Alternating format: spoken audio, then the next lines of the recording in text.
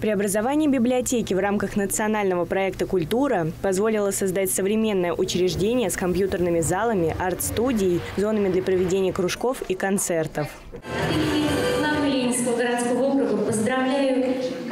работников библиотеки, поздравляю всех жителей нашего города, всех нас поздравляю с тем, что происходит сегодня. Новые проекты, новые это, помещения, которые здесь и игры, и чтение. Теперь библиотека не так, как раньше мы приходили и просто вот брали книгу, да, смотрели, какой тебе нужно и так далее.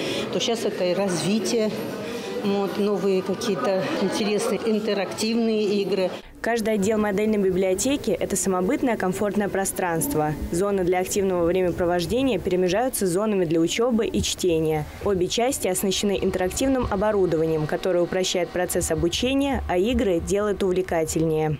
Модельные библиотеки отличаются от обычной своим комфортом, удобством, а, новой мебелью и, конечно же, новыми книгами, которые ждут э, читатели.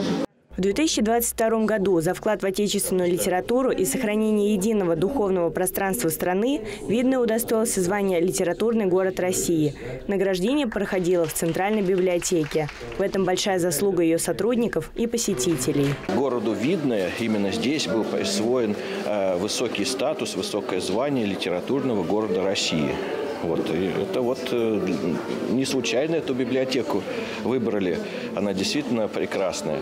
Библиотека – сердце города, и после ремонта оно забьется с новой силой и с каждым годом будет привлекать больше новых читателей и ценителей литературы.